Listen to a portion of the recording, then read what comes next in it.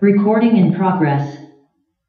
Okay. Okay, I'm gonna call the meeting of the Holiday Island Planning Commission to order. Uh, it's, uh, November 9th at three oh five in the afternoon. I think we'll dispense with the pledge since we just said it an hour ago at the last meeting. We may have changed our mind. Lynn, Lynn, you wanna call the roll Chairman Keys, here? Vice Chair Pittman. Here. Commissioner Elwood, Here. Commissioner Graves, Here? Commissioner Mills, Here. Secretary Dumas, here. All present. All right, And I it should believe be there noted, we have one person visiting us via Zoom.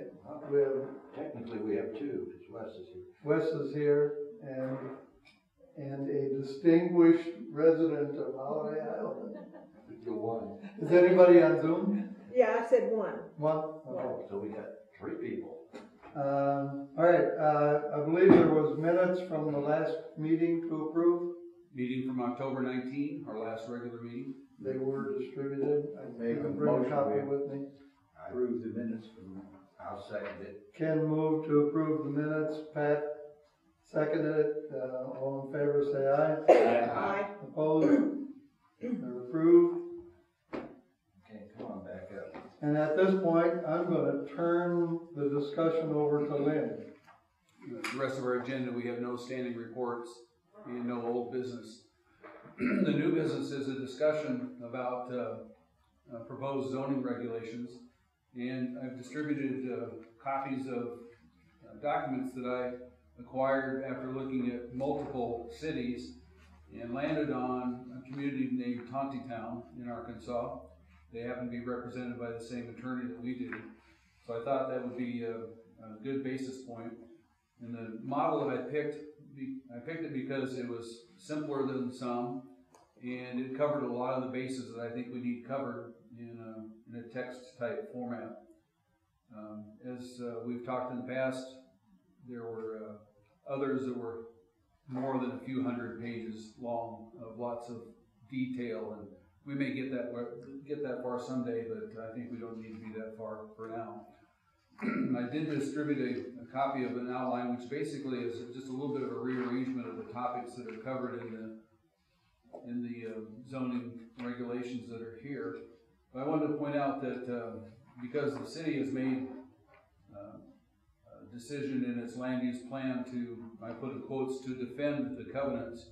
In other words, to uh, do as much as we can to make certain that the covenants that are in place on our properties are supported by ordinances that we pass that those covenants are awkward in the way that they uh, describe how land is used for zoning, and uh, mainly because it's by unit and block, rather than like Tontitown has, you know, like most cities, they have square streets and nice straight lines, and they have neighborhoods they define easily, even though they, they have a business district because the highway runs through town. They they're simple. Their plans are simple. Ours may be a little more difficult to uh, describe other than sticking with the uh, descriptions of unit, block, and lot that uh, our, our properties are named after. The uh, covenants in our land use, the names are not the same in the regulations that I copied. And I didn't want to go to that effort of uh, recommending new names yet. I want to make sure that we have uh, what um, zones that we need to describe before I work with trying to match them up with what's in the current uh, covenants. And um, the, the uh, conditional use isn't defined in the covenants. Conditional use, when you say an area is going to be an R1 and someone comes to you and said, I'd like to put a, a mom and pop candy shop on the corner, so you, they're asking for a, a, a variation. None of that is described in our current covenants. What they've done is take exceptions that all of this unit is a certain um, land use, except for certain blocks and lots are separated out. So they, they took it in that method rather than giving a conditional use within a unit. So that's going to create a little bit of work on our part and how we're going to describe uh, what's permitted, how how activity is going to take place. So, and then the, the basic thing, or the, the thing that I thought was really significant is our current covenants don't have definitions section. when you look at the Arkansas statutes, like under alcohol, there's a four-page document describing what all the terms in the law mean. Uh, I look at other covenants, including this, or not covenants, when I look at other zoning regulations, including this one for Tawny Town, they do have an extensive description, so that it takes the, uh, helps take away the arguments of, well, I wanna use it for this, but it really isn't that, and we in our ordinance can point to a, a use that's described, and you can see if what they wanna do matches one of those, and then we can go to our other ordinance that says it's permitted, or it's uh, permitted under conditional use, or it's not permitted at all. So there is an extensive, uh, definition section in this set of regs that I, that I recommend we review. So, any questions to that point? Okay. I didn't intend for, uh, the conversation today to be me doing all the talking, I was hoping that, you know, there'd be a lot of input from you folks. And my plan then was just to go through that document, starting with page four of the front end, and just scan through issues that I have highlighted that I think need some attention on our part that are in the, the document. I use a, a naming or a marking scheme of the yellow would be words that I added to the, the document for clarity to identify it as ours. Then I used the blue highlight for areas that I think need attention, things that I don't think fit necessarily with Holiday Island, or we need to either take out entirely or replace. Okay. Um, The ones you marked reserved, uh, The sections I marked reserved, yeah, those are topics that, uh, we don't think, uh, need to be addressed right away. I just took the text entirely out. okay, landscaping, screening, fencing, you don't think? We, that, that, that, I thought I saw that in the, okay, It's not included here. It was in the original, uh, hundred and seventeen page piece that I sent, but in the sixty-nine page version, it, it, I took the text out for landscaping, Okay. screening, and fencing. so those through, those four issues are not in, in the. Yeah, there's more than that, but yes. There's, Well, there's flag standards, yeah. there's quite a few that are marked reserved, like landfill for, uh, exclusive use landfills and planned unit developments. Uh, The goal is to get zoning ordinances in place so that we have more than what we have in our land use plan that simply says we're going to do the best we can to defend what's in the covenants. So when the planning commission meets in the near future or a, um, what's his title? Uh, the, the guy who does the building permits. Yeah, the building inspector. The building inspector, when he sees plans, he'll know that, well, we're gonna have to rely on the covenants until we get zoning regulations in place.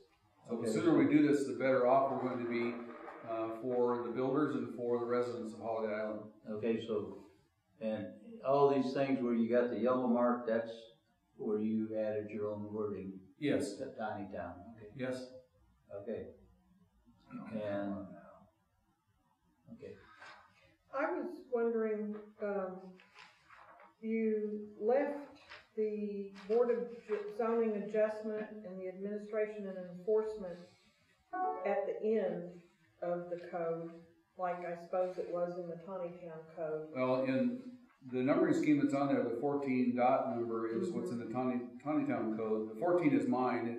Theirs is actually one fifty-three if you go do your own research, but I just replaced it with fourteen.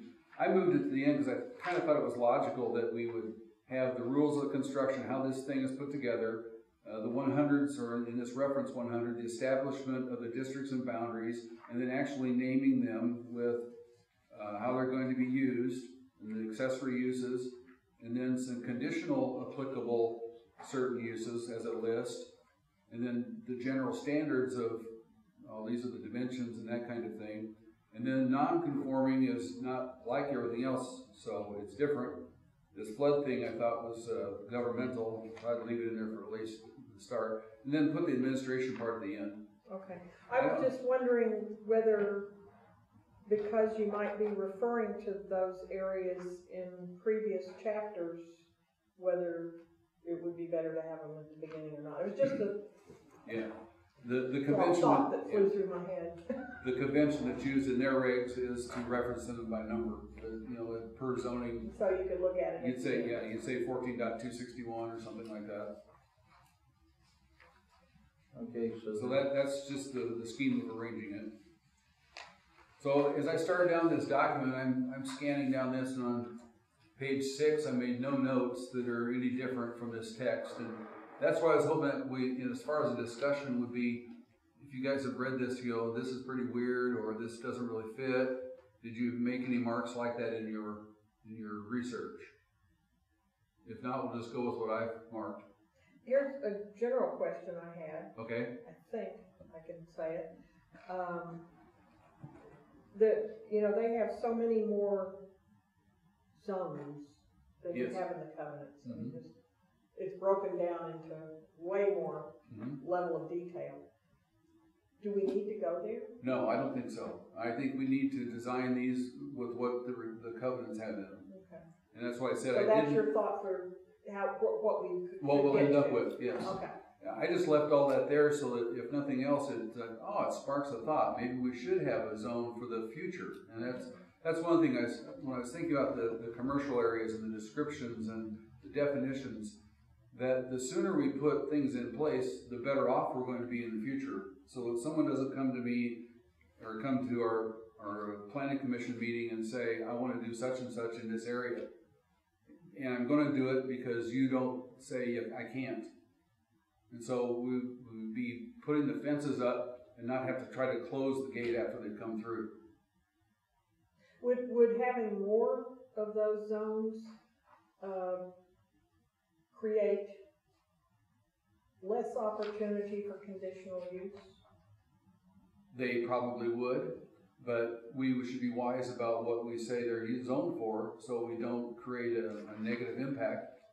But what we wanna do is preserve the safety and the, the welfare and those five words that are used in the codes that we're, uh, supposed to do to protect our community.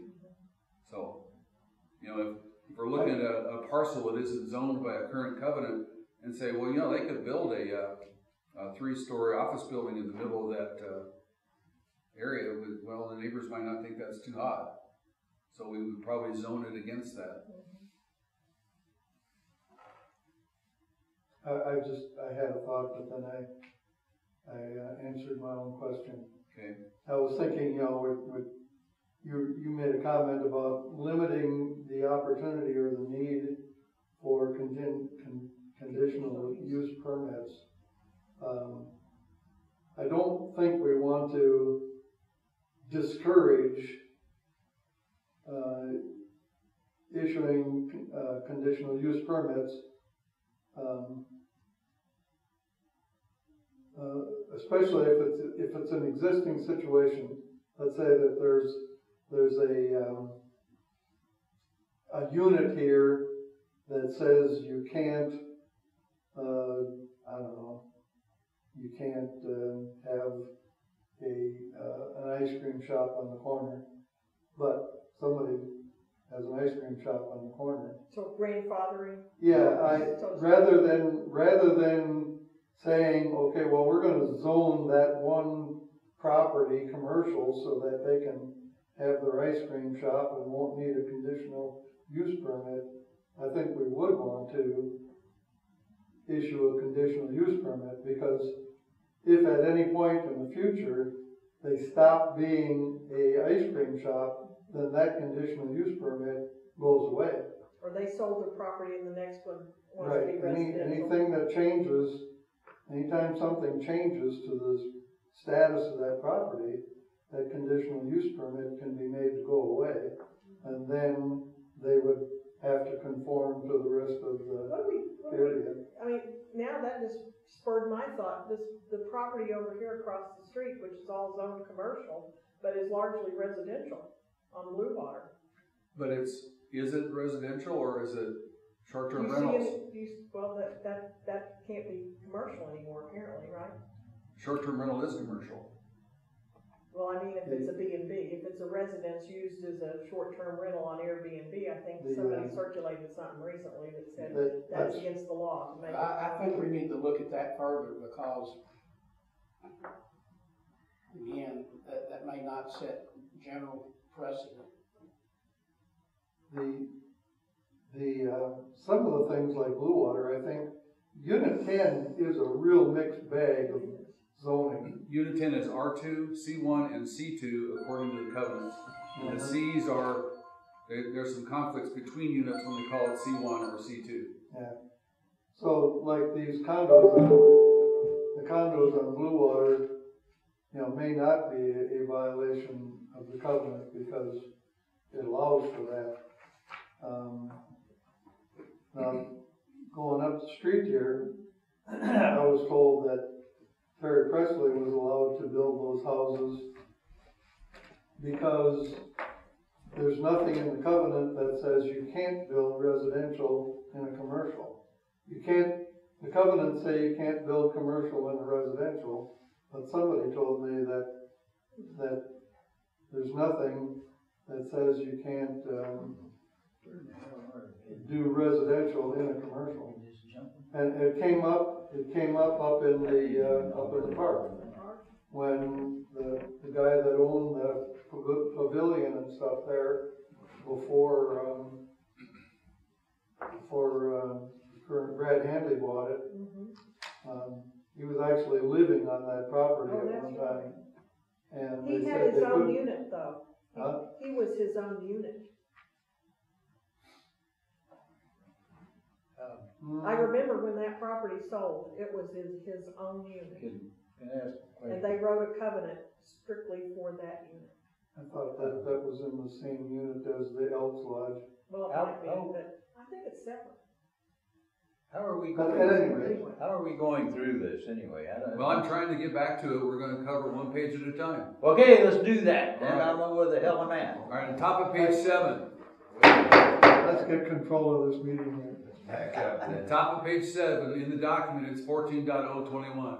Okay, The very second sentence, it says, it also contains definitions for the uses identified in the text, and I inserted or intended to be used at a later date. To answer Linda's question and my response a moment ago, that we may have zones in here that are not currently being used. Is that okay? Yes, um, they, they possibly could be used at a later date, so, But is it okay that we do that? yeah. Okay, I mean, you, the- the only, op- uh, the only uh, option to that would be to add them as we go, so. well, my concern was adding them as the go, as we go, is we may be faced with trying to close the gate after the cows have already gotten out. and Or three, the cows three have already months to gotten in. approve an ordinance too. Excuse me? Three months to approve an ordinance or pass an emergency clause. Right, and This then, is an ordinance. and then we would face the issues of taking away value and all those kinds of things. So Well, I'm in also favor of creating them ahead of time. have to re-categorize, you know, that the, have the uh, municipal league do that.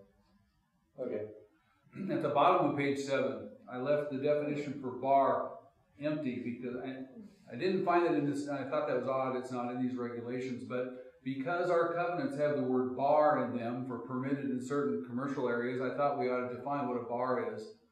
And after looking at, uh, a lot of state statutes that I didn't find the answer I was looking for in, and a couple others, I found this definition to be an establishment in and on the premises for the consumption of alcoholic beverages by the drink or in broken or unsealed containers are sold. This shall also include tavern, saloon, pub, lounge, and other like described drinking establishments. I, I tried to think, does Arkansas even permit s- straight bars? Because it, That's, that's what I was gonna bring up, because I remember by the drink ordinance specifically limited it to, uh, dining establishments so that can, s- uh, seat fifty people, have a full menu, a kitchen capable of, uh, preparing everything on the menu to, to avoid bars. So I don't think we, I don't think we got bars in our. I said our current covenant has the word bars in it, Okay, so that's why I put it in here. So if we can't defend it, if we can't permit it, then I shouldn't, it'd be one of those areas that we can't do, we can't do that. I, I, would, you In know, other words, the city would prohibit it even though the covenants might allow it. Apparently, yeah. Well, I think, I don't, Don't think state allows it. I believe you could just take that out. Well, if the state doesn't allow it, how do you explain the ones that are down along Highway twenty-three? Well, they're in Missouri for one thing. They got food. No, excuse me, down sixty-two, Oh, okay. the Rock and Pig. That's, they got food. Yeah. Okay. It is basically a Mostly, restaurant. But you- Okay. you've got one, uh, outside Berryville that just opened, uh, during the summer. Uh, it was like a, a series of hotels. Yeah, yeah, that strip there. And that little strip there, Is that a bar? they call it the something saloon. Yep. Oh, yeah, it was for ri- bikers, Yes. Yeah. I don't, I don't, do, I don't, but they might serve food, you don't know. And you could Well, be real, Yep. you can't get a liquor license. you can't get, you can't get a liquor license if all you have is a, a hot dog machine and a- and a popcorn popper. so. They used to have, a- they used to have a percentage that, that a certain percentage of your revenue had to come from food, but they, I think they took the percentage out. Yeah, there's no percentage. It, the, the basic guideline is you have to meet the definition of a restaurant. Okay. So I probably should take this out of here. That's probably why it's so you're saying in. that's state law? That is state law. So that's And you probably can't- why. You can't have probably a why bar Tawny without a didn't have liquor it. license, so, Tontitown didn't have it because we can't be permitted anyhow. Yeah. you know, take it out. I'll just take it out. Okay. I I don't know when to ask this question, but I'll ask it now. Tell Sure. me, uh, The, all right, I, the state prohibits us from contradicting by any city ordinance, anything that's in a covenant. No. Um, what happens in a, in a suit is usually the judges, the courts let the more restrictive rule apply. Well, I actually posed that question to, uh, to, um, Justin, and he said he's never been asked that before, so he'd have to do some. Well, again, I know y'all tired of hearing about me and my previous experience, I'm not. But in, in not one time, when we passed an ordinance or, uh, granted a zoning ordinance, uh, variation, uh, that covenants were ever mentioned, ever. Well, you probably, did you have covenants over there? Yeah, But those were like private communities where you had covenants, weren't they? Well, you can have covenants. They but could there's be- subdivisions, They could be more restrictive. You can have covenants Than the within city the would allow. within the city.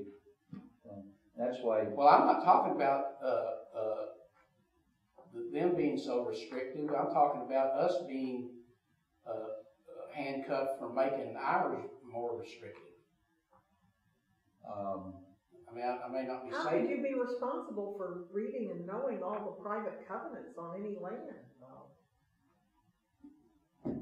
Well, Jerry, when we get to the point where, where we talk about specific restrictions, then might be easier to, to have that discussion about, you know, is this more restrictive than the covenant allows and. Well, well, I, I I brought this up at one of the other meetings, is, Okay. uh, you know, I, I mentioned specifically the house on, uh, Holiday Island Drive that had a, a, a fifth wheel RV park next to the building. Okay. And I was told that the covenant, you can't prohibit that, that the covenants allow that. Right, Art. But, and my question again is, can't we make something that's more restrictive? I mean, because when those covenants, there, there was no city. Uh, Plus, you got, how many, thirteen to fifteen units, you can't find, All right, I think the answer is we could, we can pass or- ordinances that are more restrictive. right, But we can't pass an ordinance that allows something that's in, that's prohibited in the, in the, um, covenant, is the way I would approach it. Yeah. okay, well, I don't have any problem with that. then. Be- Because, because I think we would be inviting, um, a challenge that, that the city was, was illegally extracting value from the property owners in a particular unit by allowing something by ordinance that they as property owners decided they didn't want and put it in their unit covenant. But, yeah, Okay. I guess the, the classic example would be if the city passed an ordinance that said you can have a B and B anyplace.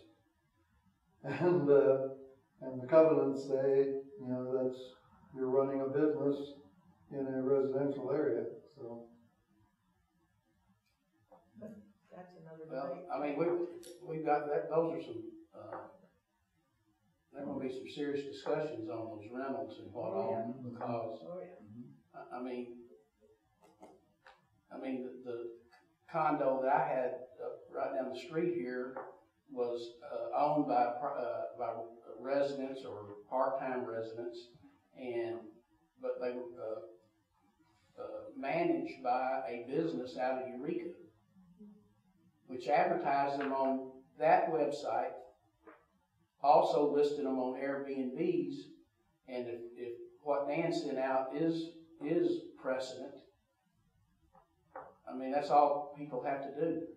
So, the, what I'm following when I'm clipping articles is there's so much still up in the air with, between the state and what cities are doing, and there's been some guidance that we could probably take from Fayetteville and Little Rock that they've done their homework. And there are some things we could do, I don't know what they are, as I haven't studied that specifically.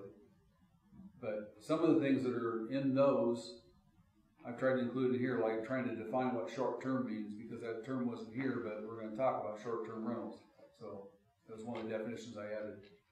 Okay, top of page eight, I added the definition for bedroom, because there are ways to control in an area of living of how many people are in a building.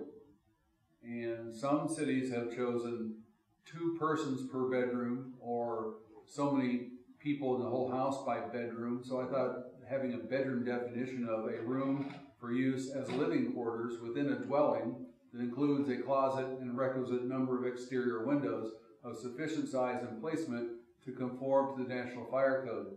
I did that because there were people that could claim this four by six closet is a bedroom, so I put two people in it.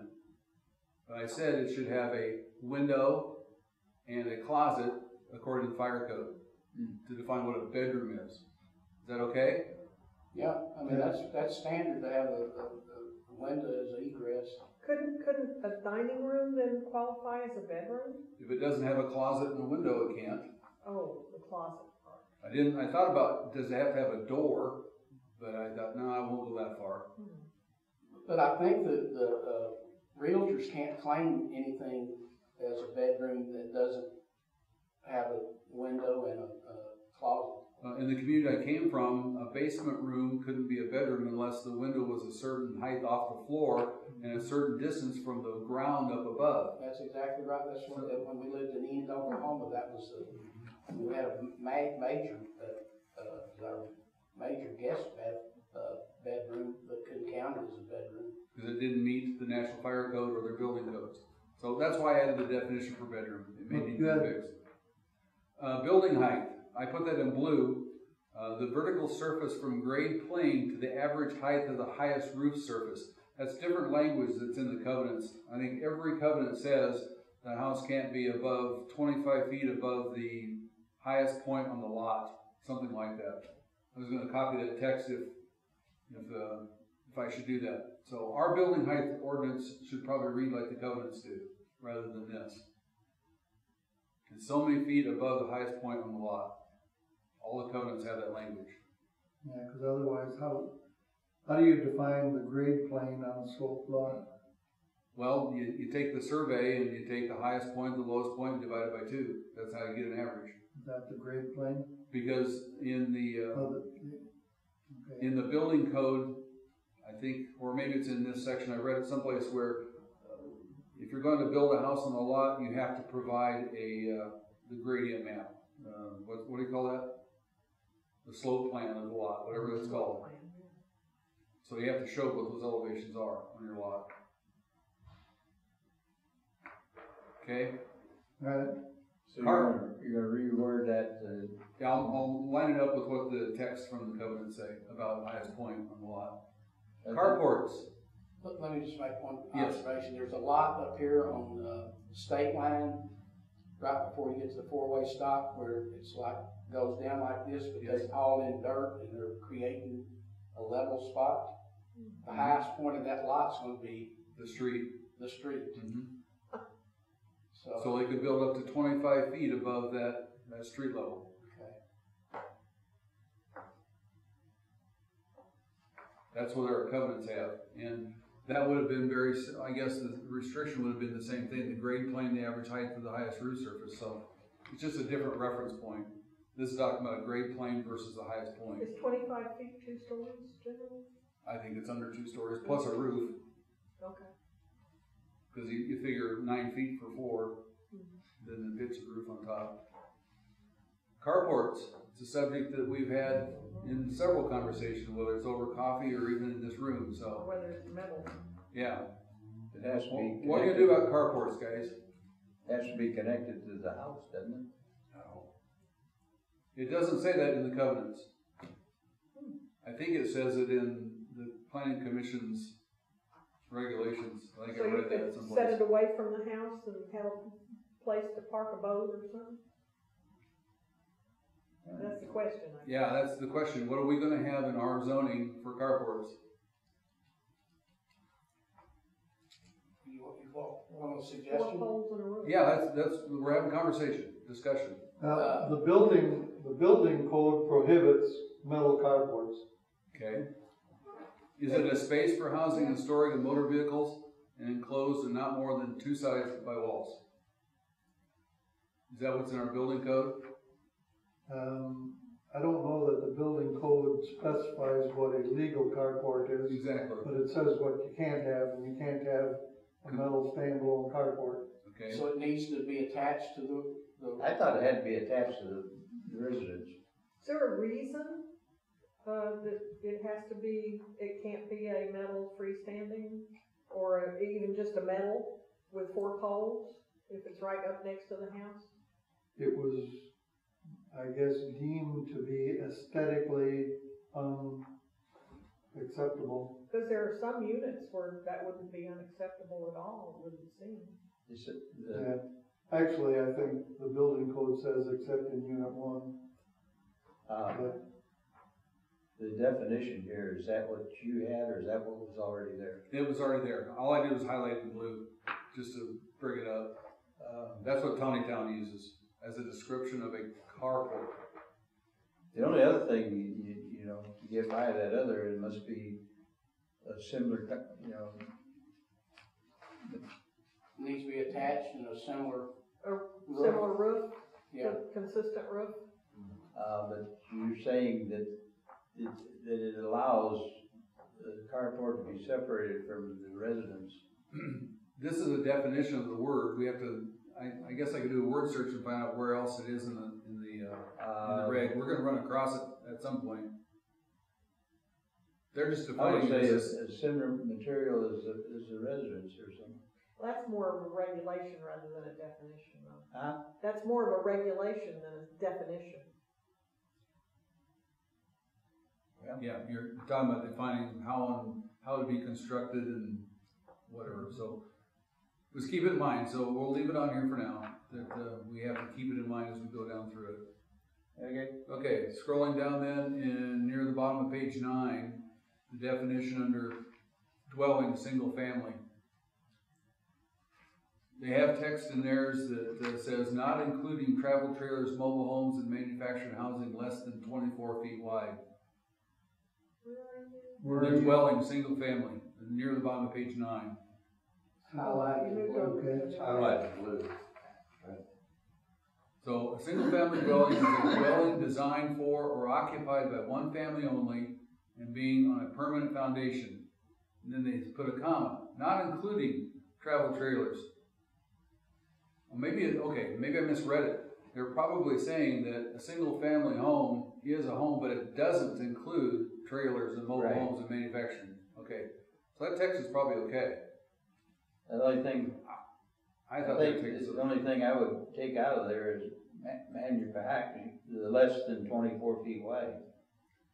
Because that's saying, you- then, then you could have a manufactured that was over twenty-four feet. No. Yeah, it does.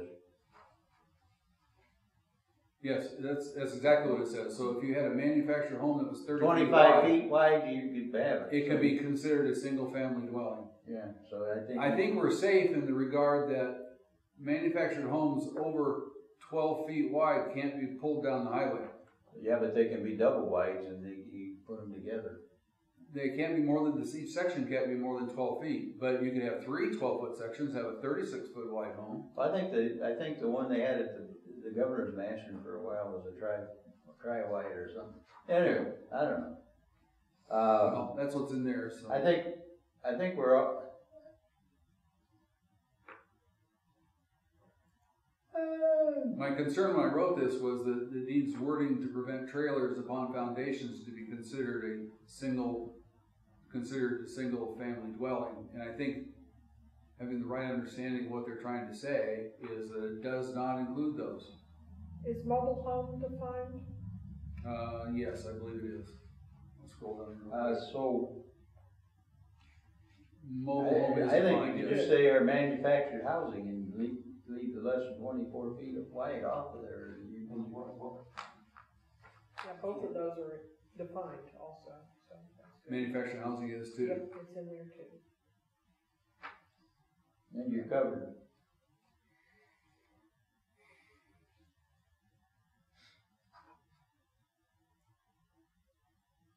Why would you want to exclude? Well, there are some manufactured, well, I don't know what they call them, but when they, they bring the sections of the house on a flatbed and they stack them all together, you end up with a house that's thirty-two foot by sixty feet. It's pre-manufactured. Are you gonna tell me a pre-manufactured home of that style and that construction should not be considered a single-family dwelling? A lot, a lot of places call those modular. There you go, modular. So that's, that's definitely different than a, a mobile home. Yes, it is.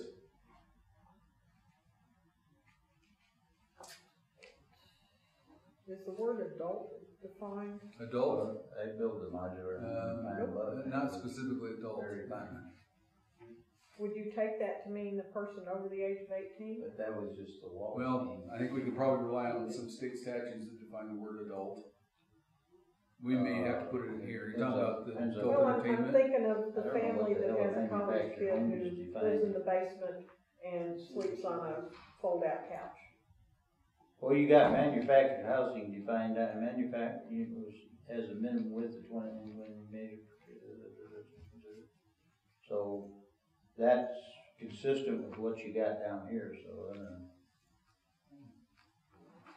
Well, um, In that we're- situation, they would be violating that single-family dwelling. I don't, I don't think, I don't think it's an issue.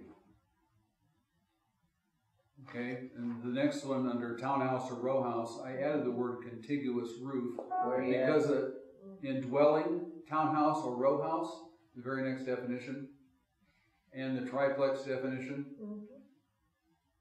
On page nine. Yes, Yep. So that two or more single or multi-story dwelling units attached at the side or sides or contiguous roof.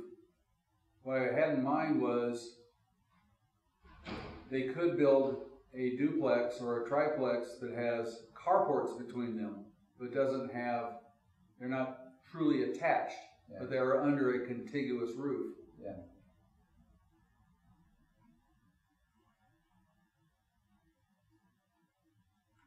Well, the Wedgewoods, uh, they do have, some of those have carports between the units that have a, but they have Covered. contiguous roof. Okay. a contiguous, there is a contiguous roof. So I thought it'd be okay to put that in here. Thought that would help describe how we want the, Yeah, them to be built in Holiday Island. okay. You don't have that on the duplex though, do you? The Um, contiguous roof is not there. well, on, it says townhouse row, two or more single multi-story dwelling. Okay, you're right. Well, I, I Well, yeah. suppose du- duplex is a separate item. Now, where did it go? Oh, yeah, up here. There's quadplex, multifamily. I've got more. No, they're, uh, I'm just rolling up above. Oh, okay. Oh, yeah, I see. Um, oh yeah, I did have that under attached dwelling or dwelling attached, a dwelling that is joined to another at one or more sides by a wall or walls, and then I added or contiguous roof. So that would cover the duplexes. Okay. Okay. Again, these are our zoning ordinances. How do we want duplexes and triplexes built? We want them to have a contiguous, contiguous roof. Okay. All right, next page, uh, at the bottom of page ten, under group residential, I added the word residential occupancy, so it says the use of a site for residential occupancy by groups of more than five persons, not defined as a family. Typical uses include residence halls, boarding or lodging houses. Would that new drug center in the park fall in that category? I don't know if they live there or not. They do, They do. They have a kitchen and bedrooms and bathrooms and, I Where you assume, talking? because they are living there. Yeah, they live there. Where you okay. at? Uh, just the definition for group The- residential. The old medical plaza across from the post office, next to the Elks in the park. It's a, it's a drug rehab facility now. I didn't and think they- anybody's it's a living there, live-in but, Facility. Oh, yeah, they are. yeah. There's like kick Cars there all the time. I just added the word residential because the word out in front is group residential. So, okay, we're gonna have residential occupancy rather than temporary or something. Mm-hmm. Okay, I just wanted to make it clear, I thought. Okay, That's next not- page, hotel or motel. The concern I have is we may need to include, uh, We ain't gonna rent our motel out by the hour. How do you know know they there's such a changed it thing? to the no-tell motel. didn't they? Ken, Ken's not gonna pay for an hour when he only only needs a half hour. Uh, Half price. We're recording. Yeah, that, that's on tape, then. I included the and/or short-term accommodations because of the articles I've been clipping from newspapers and what's going on with the state about VRBO and Airbnb, that they are either considered or not considered hotel or motel type business. And it might be that, uh, we should have the words short-term included in the definition. I I think that's fine. If you're gonna put short term in there, then you gotta determine, define short term. It is, later Is on. it, oh, okay. What about a hotel that has permanent people? Does that, permanent residents? It's short term. Would that, that, you know, the Statue Road Inn, Yeah, there, Has there, some there are permanent several, apartments. not several, but two or three over on sixty-two that they, They're they Take permanent. co- converted them to efficiency apartments. yeah. I, And, and, uh, our hotel here, he's doing the same, he's, the that's what I backside, was gonna just say, he's gonna have some, uh, apartments. uh, permanent apartments because of the housing shortage and, uh, he basically put his staff up in them and then he's gonna have the hotel rentals up front. In, in this, uh, in zoning, that would be like R two, be multifamily. They'd have to be an R two type accommodation, cause it's long-term living in more than one family in the same roof, under the same roof. Uh, What, what, that kind of brings up the question of what, what would we do in the case of a, a structure, uh, improved, improved structure that falls into two categories? What happens in, from what I've read is that it's considered a, um, non-conforming use. And what Dan had talked about, that we have, uh, regulations in place that say when that non-conforming use changes, then it reverts to the, to what it, it has to change to what it's going to be, can't be extended. So you, they, they're, they're over there as a C two or something. They're operating non-conforming, if it's a, if it's a But if residential they, area. if they operated part of it as a as a- R three, then it's a non-conforming for the C two. Or, And or the R three, temporarily at least. Yeah. Or vice versa, yeah. so, I think the VRBO Airbnb thing is gonna have to be a different definition in here, a definition unto itself, Where is that one? as opposed to don't calling have it one. Oh, hotel motel. mm, oh, yeah, I think it has to be separate too. Because all I did for short term was not a short term rental, but I just had the term short term to define the time frame. Yeah. There would probably be a definition that we create when we do the zoning for short-term rental, what does that mean? Could we, could we call those vacation rentals or But- something like that? Yeah, the state defines short-term rentals as anything less than thirty days, Right, but, um, I mean, instead I of think- using the commercial brand name of Airbnb. Right. Vacation rental maybe.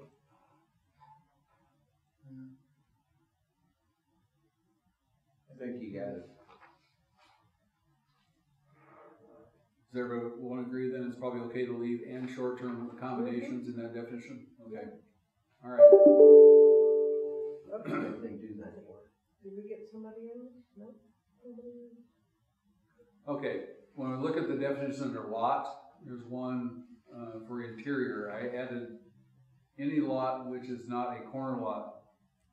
And then as I read through the rest of the regulations, they talk about double frontage. That's a house that has a street on its front and backside, There, we do does. have some of those out here. Yeah, mine does. not by your lot, your lot line, there's a lot line behind you, right? Your lot goes from Rocky Top Circle all the way down to Beaver. Beaver, Yeah. that's one lot?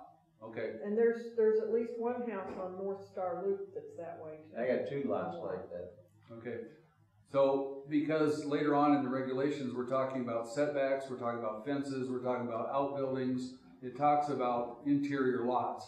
So I thought we need to include the double frontage ones here, that's why I added the words. Okay.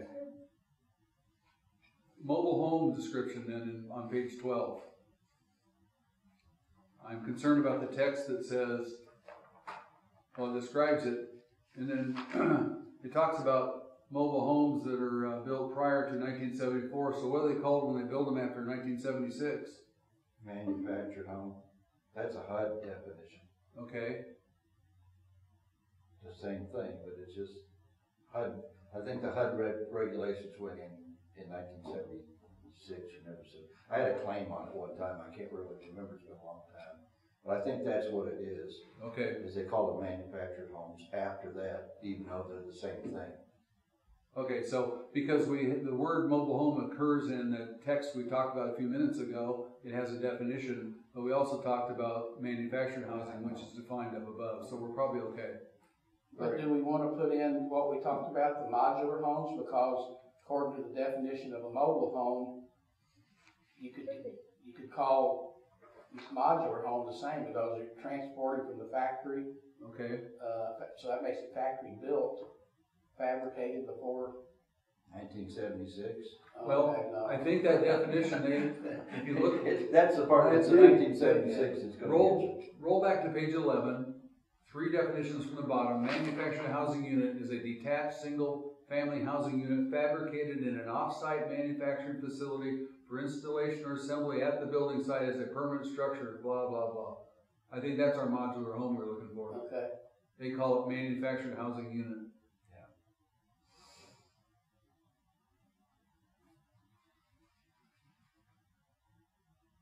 Again, I, when I read through this stuff thinking, well, you know, they've gone through the test of time in writing their regulations, that a lot of this is probably pretty well thought out. So a mobile home cannot be a travel trailer. A long travel trailer, right, it can't be, okay. It has to be something that's, like a recreational. you can, it's movable, but it's, you put it on a foundation someplace? Mm. Or do you have to put it on a foundation?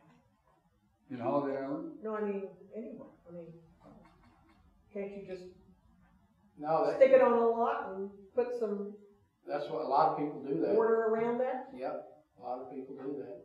I think it's registered different, is the only difference, I mean, if you put it, cut the tongue off and put it on the foundation, it's real property, as opposed to personal property. So someone who buys a lot in unit one and, uh, pulls a mobile home into it themselves and just parks it there and landscapes around it, Good to go. what's that called? No. Built after nineteen seventy-six, we don't. outhouse until they get a permit Yeah, from that- ICE. That's called, there It's got goes the bathroom in neighborhood. it. I don't think we can. That's called illegal. That's covered, that's covered in our definition, it's not a single family dwelling. It's not a single family dwelling, it's not allowed, so when we get oh, to the Oh, okay. regulations about single family dwellings, you can't take a motorized vehicle or a towed vehicle and put it on a foundation and call it a single family dwelling. So even though we allow mobile homes in unit, what, One. two? One, One and two. now? One's on, No. Two, they're Just one. grandfathered. They two can't is be- grandfather. They're in there now. Yeah, they're in there now. One, one, you can pull them in and park them and do something.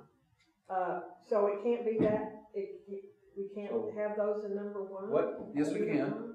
so Mobile homes, So they could tow it there, park it, landscape it, and they're done.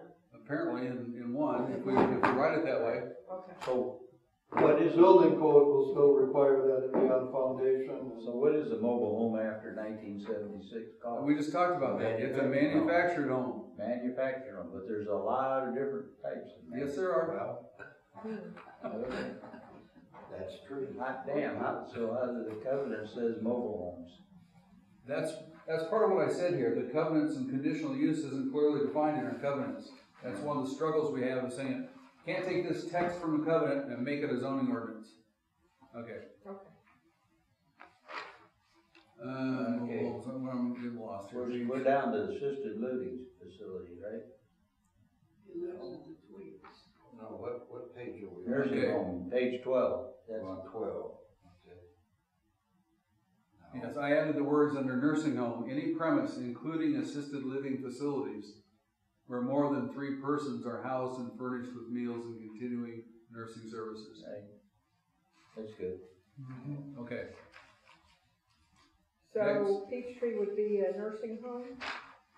well, and when we talk about, when we talk about zoning, if we use the word nursing home, it would include Peachtree as an assisted living. It would fit into that category. So we don't have an assisted living I didn't find one. Okay.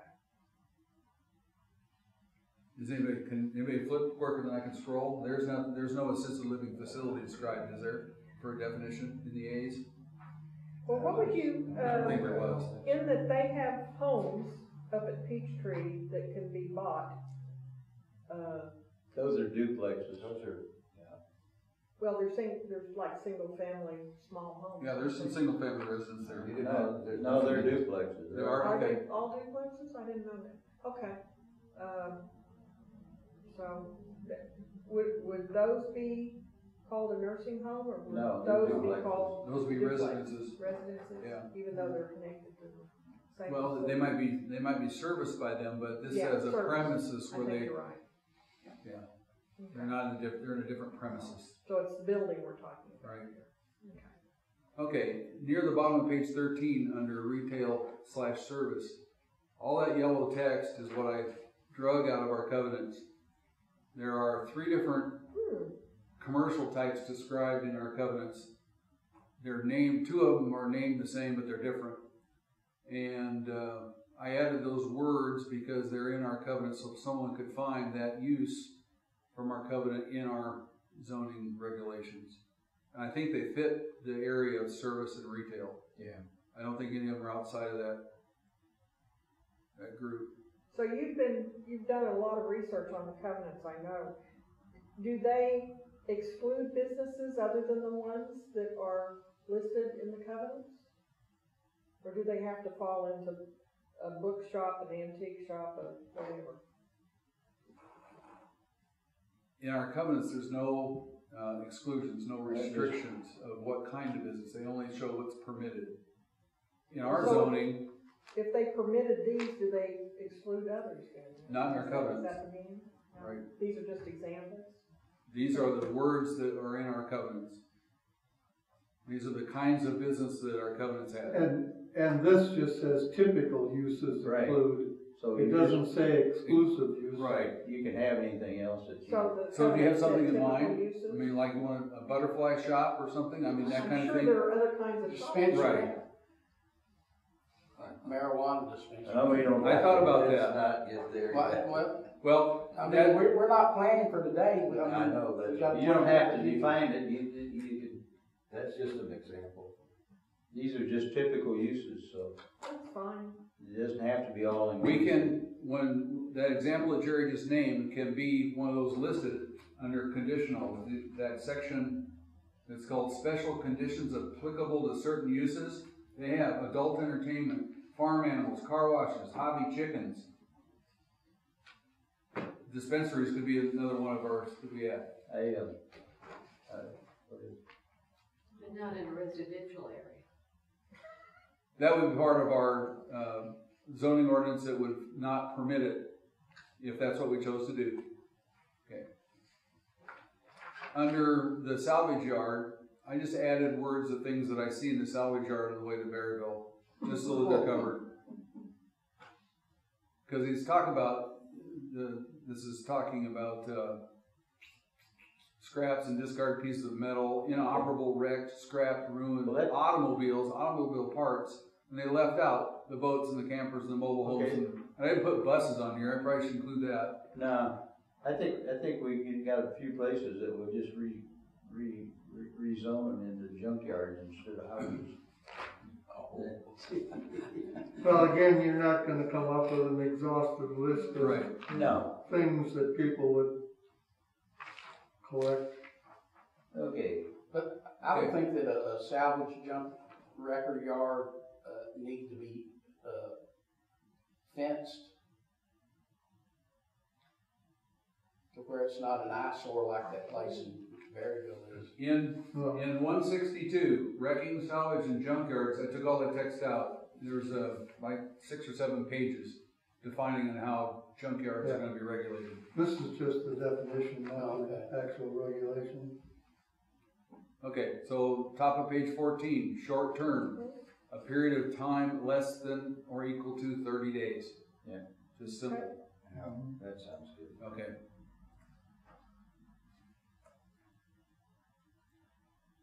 Under street. I add this because it may need to be different based on what we have in ours.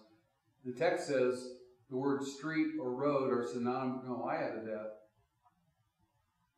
I don't know what I did here for sure. Oh, This is all my text, I think. Or it's a mix of the two. Yeah, I screwed up the highlighting. We said in our master street plan, road street plan, that they're used synonymously. So I want to make sure that our definition, when we talk about streets in our ordinances, they can't be misconstrued.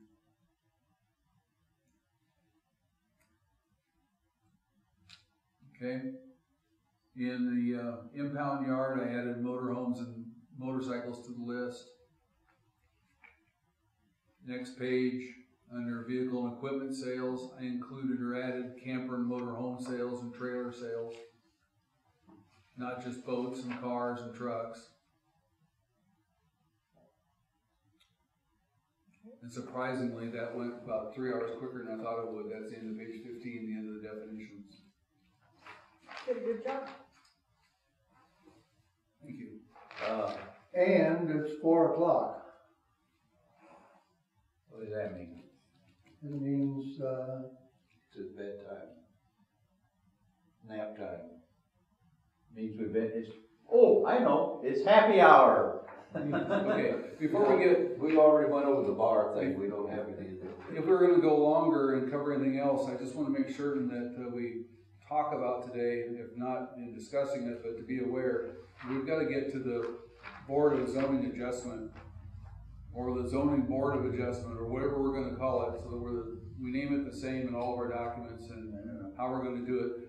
Because as soon as we start approving permits, things are gonna be nice and shiny and clean, and everybody's gonna be happy. As soon as we say no, then we have to have an avenue for our builder or property owner to go to, and that's the Board of Zoning Adjustment. Can we, can we start meeting once a week? I think every Wednesday, and then every Thursday, and I every think we Friday need- would work. Work sessions. Yeah.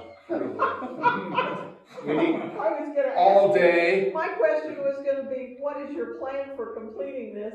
And what time frame are we gonna be on here? I think, Lynn, Well, what, what I had thought we would do is as we go through this, if, if this order is appropriate arrangement of these texts, and we go through and discuss them, and we think we're pretty much in agreement, I can draft the resolution to adopt these a section at a time, and an ordinance for the city to approve, and they become our zoning ordinances, a section at a time.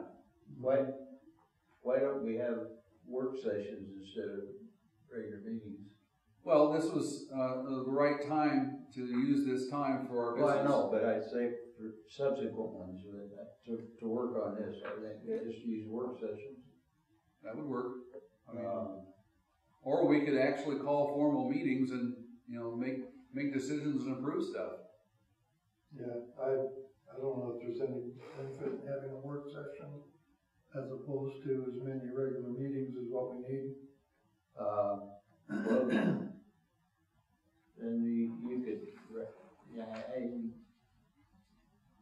are we gonna have, we're gonna do these under emergency clauses, right? We're gonna have to, right? Well, we can, except for the sections that have penalties and fees in them, and those we're not permitted to. So then there ain't any way, heck, we have them done by January. Oh, there's no way it'll happen by January because of the time. This is already November twelfth. That's basically why we passed the emergency one that said we're going to use the zoning requirements, you know, in the uh, covenants until we have more permanent. Well, we just need to, we need to schedule enough me- meetings Yeah, that we a can, couple of meetings a week for the next two months. no, we need to schedule. Three of them. You need to schedule two-hour meetings and at least to get it So, done. you know, there- there's, there's sixty-nine pages of material here, there's, there's a couple of them that I pasted in a couple of big charts that take up two or three pages, but the material's here, if, at least going through these first fifteen pages, does it look like we're on the right track, guys? Mhm. That- That's what I'm after. Right. Yeah. Okay, because there's things I need to clean up that I haven't even worked on because they're, they're defining these zones that we probably won't even have, and the, the table's screwed up in the way it pasted in, so. And I gotta put our own in it, not theirs, so there's a lot of work to do, but you- writing the, writing a resolution and a proposed ordinance for the city council to consider is easy work compared to this. Um, How long has Tontitown been a town? Or They're old. They're old? Yeah, it's- Old, it's old old. town. um, And I haven't run any of this past our attorney because I leave that to our mayor to talk to. You know, maybe, maybe Tontitown has sections like, they say, yeah, two eighty-one is really screwed up, we've been working on that for six months and haven't changed it yet. I hate to adopt something they're working on. Um, I don't know that Justin would know that, but I you're better don't, off calling Tontitown and asking them. I don't think, Okay. I don't think Justin would need to look at any of this other than the part where we're gonna get into the penalties and et cetera. I think the only, you know, the, the possible conflict with the covenants is the area that I'm concerned about. But that's not, yeah, you're still not gonna have to look at all this detail. Yeah, I, I don't, I don't think so. I don't think we wanna pay him two hundred dollars an hour to read all this. Well, I, I took it from their website and I think there was enough information on there to tell me it was current. Yeah. But I, with your permission, I'll call their secretary and start with her or him, I don't remember who it is, and see if they have any guidance on any zoning ordinances that are troublesome to them. I think we need, need to meet again next Tuesday and go through some more of this. Tuesday, if, if we were doing something Tuesday, that's, uh, the same night as the, uh, the, uh, BOC quorum. I know, but that's at six o'clock. I know. Well, I don't. We don't, we don't golf on Tuesday anymore, so Tuesday morning, nine o'clock works for me. At what, oh, nine o'clock?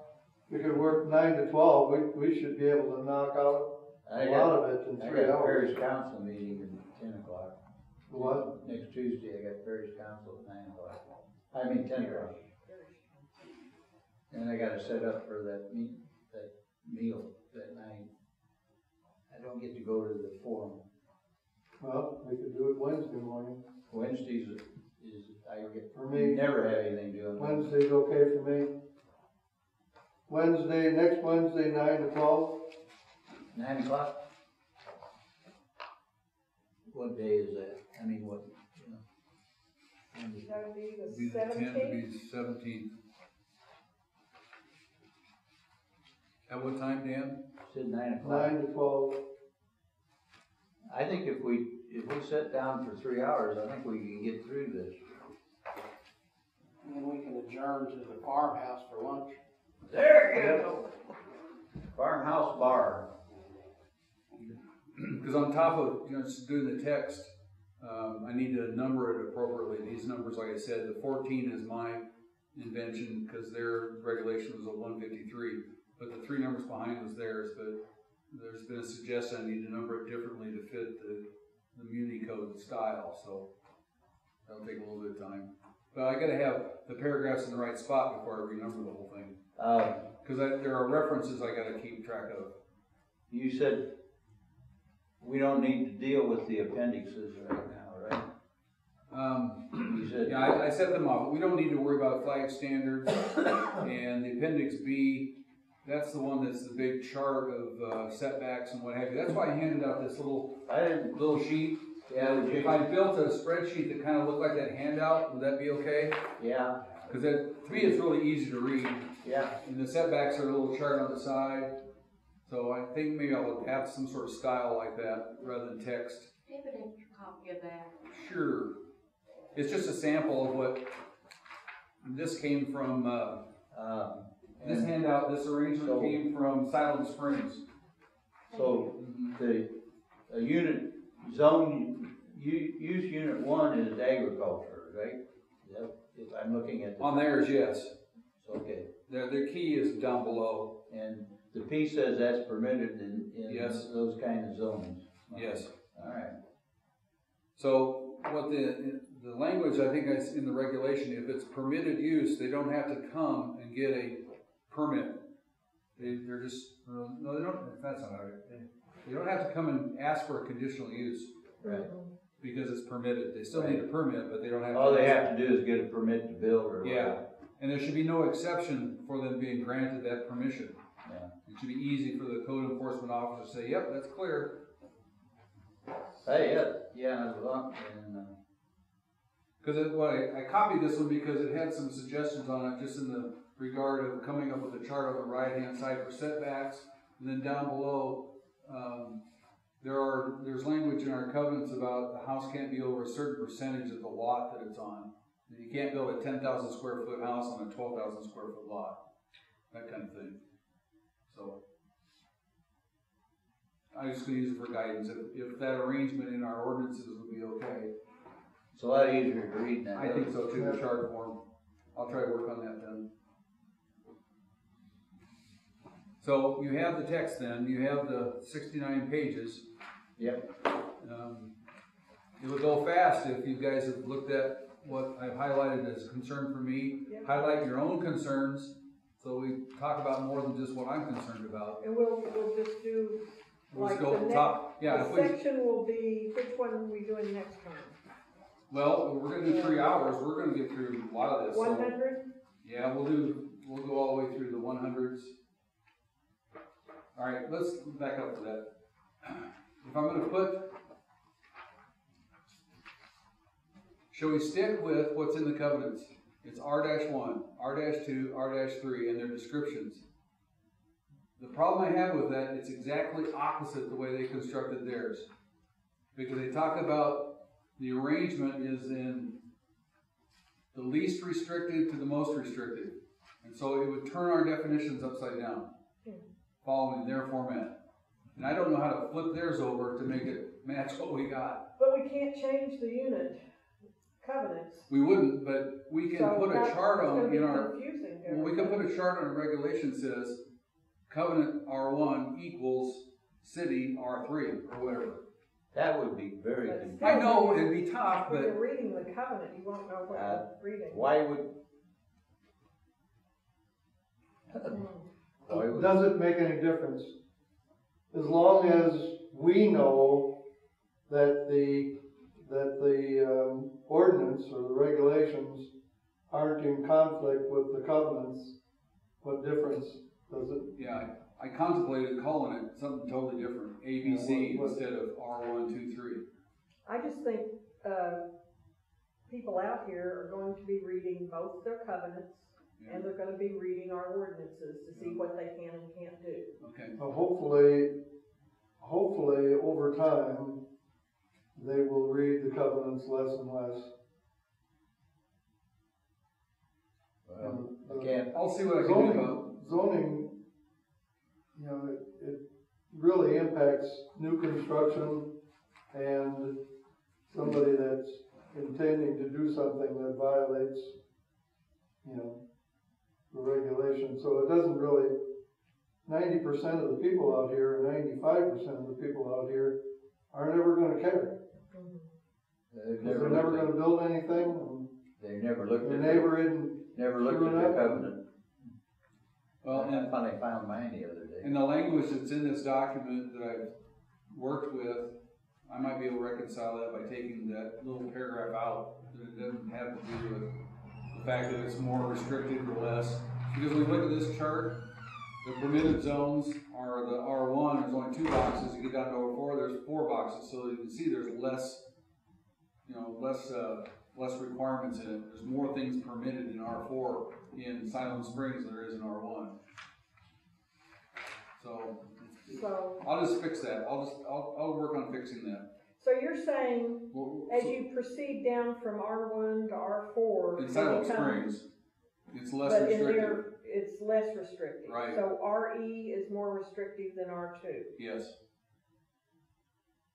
Uh, well, yeah, R two has three of them, of, that are marked yellow, or four rather, versus three. But i- if we were just to use our zoning codes, we would use only, we'd only have R one, R two, R three. Right, and then a couple R of one commercials. is, is probably So- the most restricted. Even for us. I mean, are, are, is there a more restrictive or less restrictive thing about R one to R two and R three? It has to do with the carports and the accessory buildings and the fences and the setbacks. They're more, I would think that In would an come R- from being in a unit In a- rather than being an R one versus an R three. and that's the, that's the comfort, that's the conflict that I have. Unit three, R one, whatever, it also has C two and three in it, or C one and C two. We're gonna mark these by lot, we're not gonna draw a big circle around these lots or this unit and say, it's all R one. We're gonna paint them different colors because they're zoned that way in the ordinance. We're gonna create zoning order, or they're zoned that way in the covenants. So we'd mark all R ones a certain color, Yeah, or all and the threes a C2s are gonna be certain different color and- Yeah. There is, there is one, maybe some, semi-important reason to have our ordinance match the uh, covenant zoning, because that's how high said assessor's property. By, by one, R two, R three, C one, C two. So, that would be an opportunity for confusion Okay, if the city, if the city uh, zoned my property R three, but the district was, was uh, assessing me as an R one in their world, it will get really confusing to, especially to new people that move here. I, I, I guess where I'm coming from is that when I think of R one versus R three, R three is a multifamily apartment building, R one is a single family dwelling. Where does the more restrictive or less restrictive stuff come in to play? What makes R one less restrictive or more restrictive than R three? in these regulations, I believe there's text in there that talks about how many vehicles can be parked in front or the length of the driveway. uh, It has to do with the way the, the properties are used.